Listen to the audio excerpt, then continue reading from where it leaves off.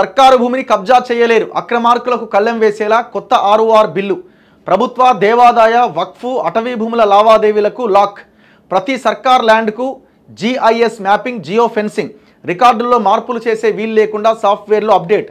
ఇప్పుడు మీరు సమాధానం చెప్పాల్సింది మేము చాలా క్లియర్గా అడుగుతున్నది. నిన్న కూడా ధరణి కమిటీ వీళ్ళంతటా ఒక ఇరవై ముప్పై మంది ఈ ఎన్జిఓలని అండ్ రైతు సంఘాల నాయకులని వీళ్ళందరినీ పిలిపించి ఒక డిబేట్ పెట్టిరట. ఇప్పుడు మేమేం అడుగుతున్నామంటే సర్కారు భూమిని కబ్జా చేయలేరంటే ఆల్రెడీ కబ్జా చేసిన భూమిని రికవర్ చేసే అవకాశం ఏమి ఎంతవరకు ఉన్నది? ఫస్ట్ దానికి ఆన్సర్ చెప్పండి. లక్షల ఎకరాల భూమి కొల్లగొట్టబడ్డది. వెరీ క్లియర్గా చెరువులు పోయినాయి కాలువ కుంటలు పోయినాయి ప్రభుత్వ భూమి పోయింది దేవాదాయ భూమి పోయింది. మరి ఆ- కోల్పోయిన ప్రభుత్వ భూమిని మళ్ళీ తిరిగి తీసుకొచ్చి ప్రయత్నం చేసి ఆ తర్వాత ఈ ఈ ప్లాన్ చేయండి. పోయిందేదో పోయింది ఇక ఉన్నది కాపాడుతామంటే కుదరదు కదా. ఉన్నది కాపాడే ప్రయత్నం ఏమైనా జరుగుతున్నదా?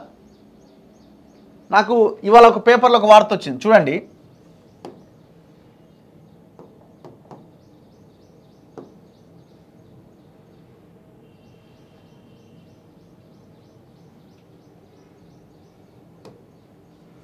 ఈ పేపర్లో ఇది విజయక్రాంతి పేపర్లో ఒక వార్త చూడండి.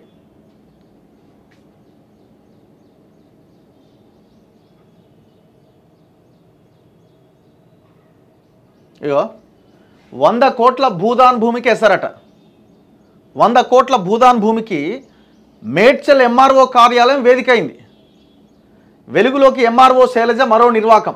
నిషేధిత జాబితాలో ఉన్న ఐదు ఎకరాల భూదాన్ భూమిని పట్టా భూమిగా మార్చే కుట్ర. ఏది ట్వంటీ టూ ఏ కింద నిషేధిత జాబితాలో ఉన్న భూమిని పట్టా భూమిగా మార్చే ప్రయత్నం చేసిందట. భూదాన్ యజ్ఞ బోర్డ్ అథారిటీ నుంచి క్లారిఫికేషన్ తీసుకోకుండానే కలెక్టర్కు సిఫారసు చేసిందట మేడం. ఎంఆర్ఓ తీరుపైన అనుమానంతో హోల్డ్లో పెట్టినట కలెక్టర్. అంతర్గత విచారణలో భూదాన్ భూదాన్ భూమిగా తేలడంతో నివ్వెరపోయిన కలెక్టర్ అట మరి ఏం అవసరం ఈమెకి? ఇగో రాష్ట్రంలో అమల్లో ఉన్న ROR act two thousand twenty ప్రకారం తహసీల్దార్ కోర్టు రద్దు కావడంతో రెండు వేల ఇరవై రెండు నవంబర్ ఇరవై ఐదున వచ్చిన ఈ ఆర్డర్ పైన గతంలో మేడ్చల్ తహసీల్దార్లుగా పనిచేసిన వారు ఎలాంటి నిర్ణయం తీసుకోలేదట. అలాగే రెవెన్యూ రికార్డ్స్లో సర్వే నెంబర్ నూట ఎనభై ఐదులో ఐదు ఎకరాల నాలుగు గుంటల భూమి భూదాన్ భూమిగా నమోదై ఉండడంతో తహసీల్దార్లు ఆ భూమి జోలికి వెళ్ళలే. కానీ ఎన్నికల సమయంలో మేడ్చల్ తహసీల్దారుగా బాధ్యతలు స్వీకరించిన శైలజ ఈ వ్యవహారాన్ని సెటిల్ చేసే బాధ్యతను తీసుకున్నారట. రెండు వేల ఇరవై రెండు నవంబర్ ఇరవై ఐదో తేదీన జారీ అయిన కోర్టు ఆర్డర్ ప్రకారం ఐదు ఎకరాల భూదాన్ భూమిని ధరణి నిషేధిత జాబితాల నుంచి తొలగించాలని కోరుతూ కీసర ఆర్డీఓ రికమెండేషన్తో ఏకంగా కలెక్టర్కు సిఫారసు చేసిరట. వాస్తవానికి ఇలాంటి ఆర్డర్లపై నిర్ణయం తీసుకోవడానికి ముందు తెలంగాణ ప్రభుత్వ రెవెన్యూ శాఖ పర్యవేక్షణలో ఉన్న భూదాన్ యజ్ఞ బోర్డ్ అథారిటీ నుంచి క్లారిఫికేషన్ తీసుకోవాలి. కానీ మేడ్చల్ ఎంఆర్ఓ శైలజ ప్రభుత్వం నుంచి ఎలాంటి క్లారిఫికేషన్ తీసుకోకుండానే కనీసం భూదాన యజ్ఞ బోర్డ్ అథారిటీ రికార్డులను పరిశీలించకుండానే నిర్ణయం తీసుకున్నదట. ఏకపక్షంగా వంద కోట్ల విలువైన భూమి ప్రైవేటు వ్యక్తులకు అప్పగించేందుకు సిద్ధమైందట. మరి ఎవరా ప్రైవేటు వ్యక్తులు? మేడ్చల్ అంటే ఎవరిది? మల్లారెడ్డి. మల్లారెడ్డి చెప్పి చేయించుంటాడా ఎంఆర్ఓ తోటి? ఎంత దుర్మార్గం చూడండి ఇది. ఎక్కడిది మేడ్చల్ మండలం ఎల్లంపేట్ గ్రామ రెవెన్యూ పరిధిలో నూట ఎనభై ఐదు నూట ఎనభై ఏడు నూట తొంభై మూడు నూట తొంభై తొమ్మిది నూట తొంభై ఆరు నూట ఎనభై మూడు నూట తొంభై నాలుగు నూట తొంభై రెండు నూట తొంభై ఐదు రెండు వందల ఒక్క సర్వే నెంబర్లలో. నర్సింగ్రావు అనే వ్యక్తికి యాభై నాలుగు ఎకరాల భూమి ఉన్నదట.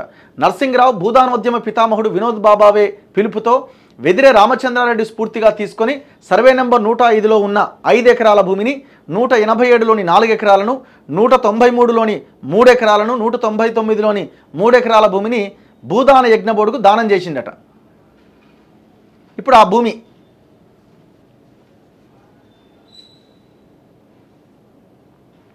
ఇప్పుడు ఒకవేళ కలెక్టర్ ఆపకపోయి ఉంటే అయిపోయాయి. ఐదు ఎకరాలు స్వాహ. వంద కోట్లలో మరి మేడం ఎంత ఎంత ఆశించిందో ఎంతనో డీలు. మరి ఇప్పుడు ఈ రకంగా ఇప్పుడు ఈ రకంగా భూములు కొల్లగొట్టినవి చాలా ఉన్నాయి. ఇక్కడ అంటే కలెక్టర్ ఆపింది కూడా సరిపోయింది. ఈ రకంగా కొల్లగొట్టిన భూమి కొన్ని వేల లక్షల ఎకరాల భూమి ఉన్నది. మరి ఫస్ట్ దాన్ని మీరు ఏం కాపాడతారో చెప్పండి. ఇప్పుడు సర్కారు భూమిని ఎవరు కబ్జా చేయలేదు కబ్జా అయిపోయింది ఆల్రెడీ. కబ్జా అయిన భూమి సంగతి ఏం చెప్పండి. అన్ని డ్రామాలు ఆపండి మీరు. ఎందుకు ఇవన్నీ?